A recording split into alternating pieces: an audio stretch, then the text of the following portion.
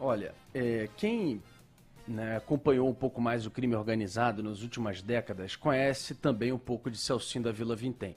Quando você pega personagens assim do crime, do tráfico, né, a milícia foi crescendo nos últimos anos e também tem seus personagens, né, os irmãos Natalino Jerominho, um foi assassinado recentemente, o Batman, Carlinhos Três Pontes, o Eco que foi outro dia morto também. Aí você vai, você tem os personagens da milícia, mas esses são mais recentes. Quando você pega os personagens do tráfico de drogas do Rio, os que vêm mais à cabeça, você tem o E, que foi executado na rebelião. durante uma rebelião. rebelião no complexo de Ericinó, rebelião comandada por Beramar, e até hoje não se entende por que Celcim da Vila Vintém também não foi executado, tem várias versões para isso.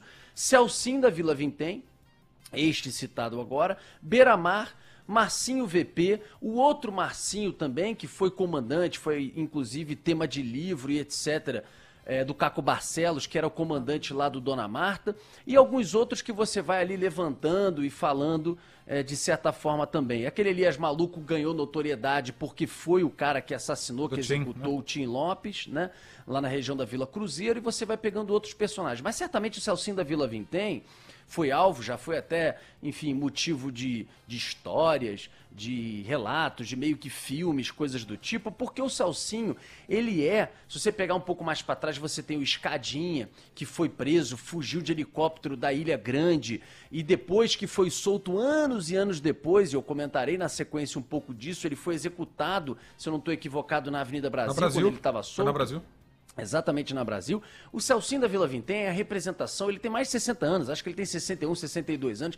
Ele é um cara da representação daquele crime antigo. Como é que o Celcinho ganhou a Vila Vintém e cresceu dentro da facção criminosa? Foi um dos fundadores do ADA, Amigo dos Amigos, porque ele tinha aquela coisa de você ficar é, cooptando a comunidade. Sabe aquele bandido das antigas?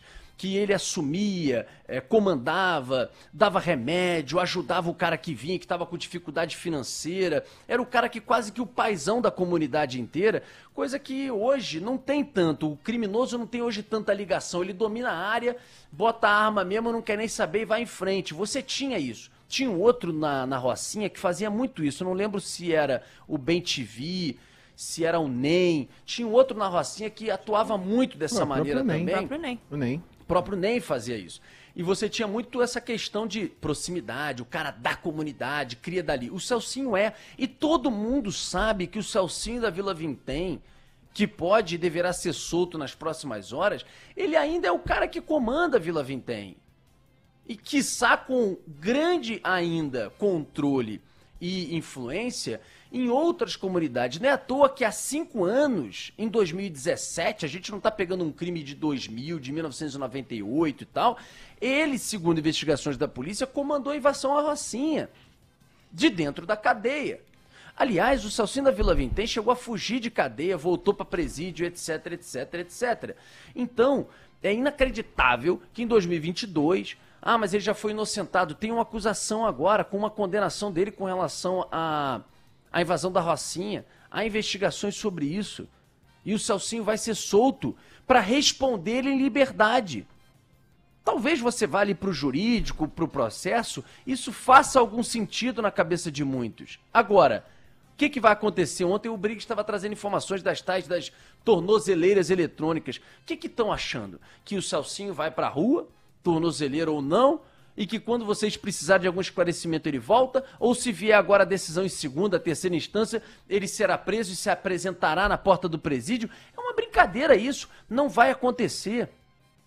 Agora, não adianta soltar e depois Ministério Público, Polícia, VEP, várias execuções penais, virem aí com um monte de relatório dizendo quanto que ele ainda tem influência, manda e desmanda de dentro do presídio. Não vai adiantar, o cara vai estar na rua, acabou.